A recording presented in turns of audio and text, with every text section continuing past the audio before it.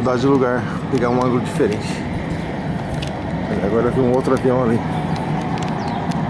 Vindo pra cá.